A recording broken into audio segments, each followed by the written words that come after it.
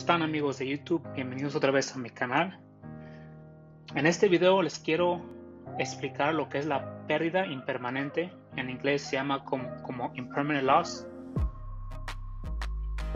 Y se las voy a intentar explicar lo más sencillo que yo puedo. Como pueden ver, este artículo de Binance lo explica. Yo, te los, yo les voy a dar un repaso de lo que es y podemos ver que es un nivel intermediado, como podemos ver aquí. O sea, esto es para los que quieren meterse en, protocolos como PancakeSwap y quieren hacer lo que se llama yield farming, como podemos ver aquí, o con o Flamingo, o hasta Uniswap. ¿okay? hay, muchos que no, entienden lo que eso significa y los riesgos que hay cuando tú te metes, cuando tú te metes a hacer yield farming tienes que saberlos, ya cuáles son, y así puedes evitar lo que se dice wreck, getting wrecked. ¿no? quieres perder. Cuando tú provees tus monedas a un protocolo de AMMA,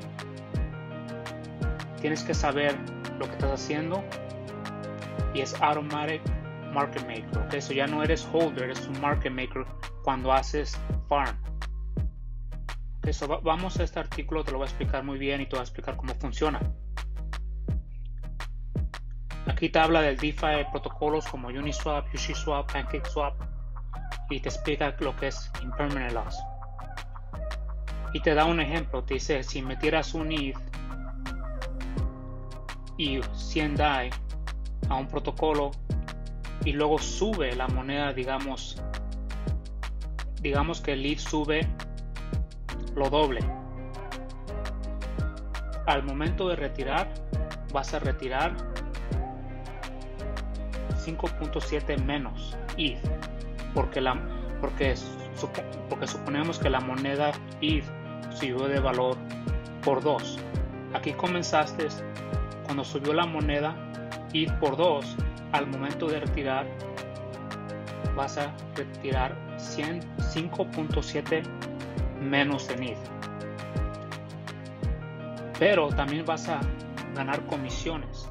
Vas a estar ganando comisiones y en unos protocolos como PancakeSwap vas a estar ganando lo que es el cake.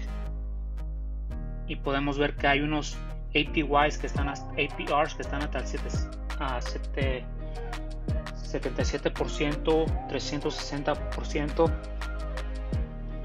So vamos a, a seguir con lo que es el impermanent loss digamos que metiste one ETH. Si ETH sube a los 500 dólares, en este ejemplo, al momento de retirar tus monedas vas a retirar 25.5% menos ETH. Y esta gráfica aquí te, explica muy bien cómo, cómo, cómo va bajando.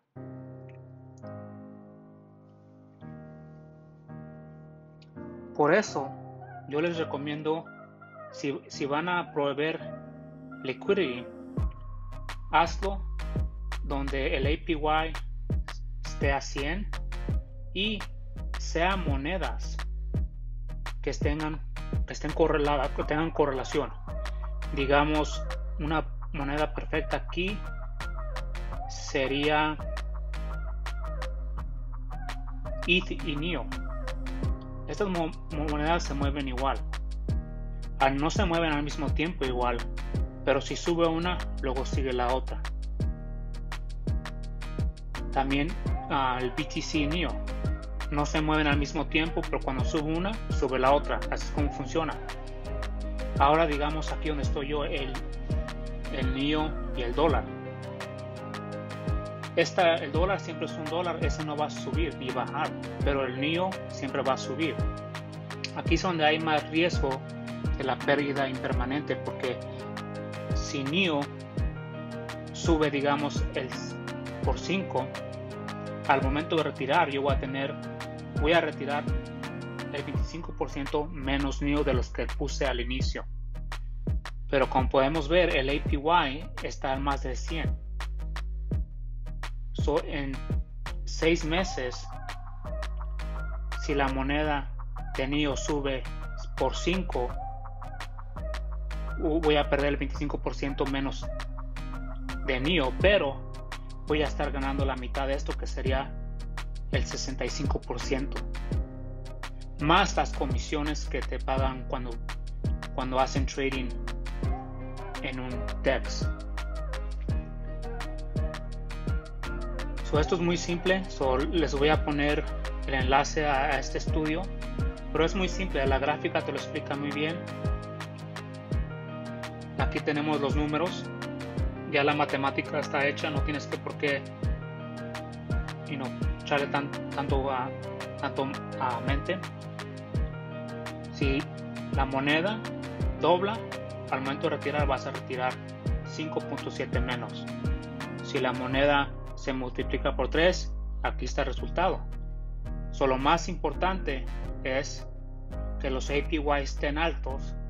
Y otra cosa también te voy a, te voy a decir.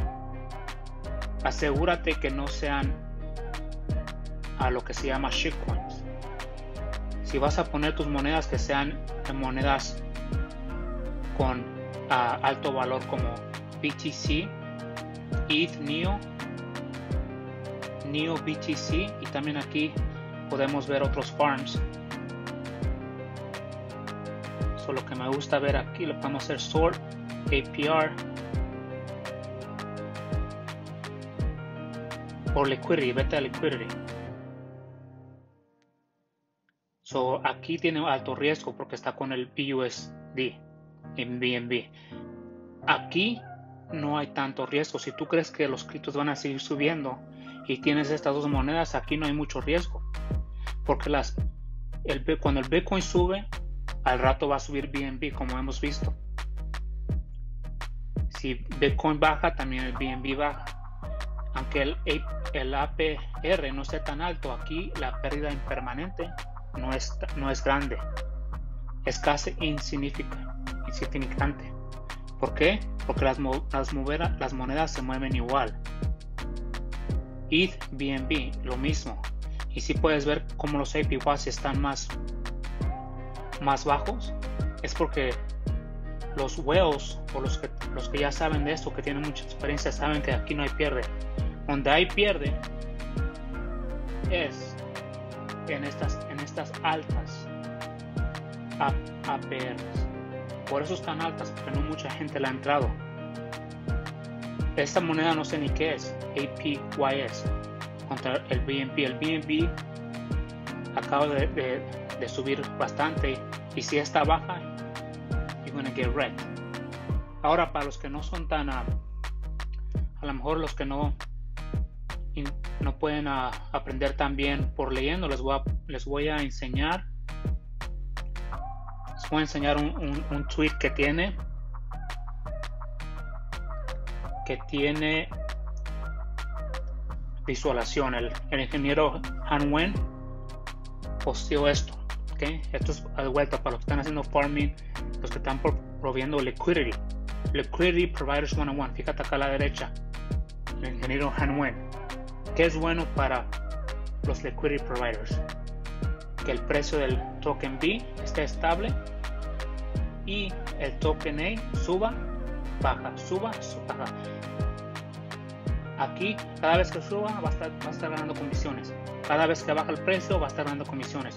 Pura comisión aquí. Y si estás haciendo farm token, el 100 APY hasta mejor. También aquí es lo mismo, las dos monedas. Es por eso que les expliqué que digamos que estas que esta moneda, el token B es Bitcoin y el token A es Ethereum, se mueven iguales. Perfecto. Cada vez que se mueven acá va a estar ganando comisiones, se mueven aquí abajo va a estar ganando comisiones igual. Así va. Lo malo es esto. Tu token B sigue igual y el token A, el shakecoin, boom, tank. O digamos que en el ejemplo de donde dije que no sabía qué era, ¿verdad? dije que acá en PancakeSwap no conocía esta moneda, o digamos que esa moneda es esta y esta va para abajo. Y Bitcoin va para arriba aquí también you're gonna get wrecked ok so, so así es como lo explico. Espero que hayan aprendido algo. Déjenme un comentario si me faltó algo o te tengo que explicar algo algo más. Nos vemos en la próxima.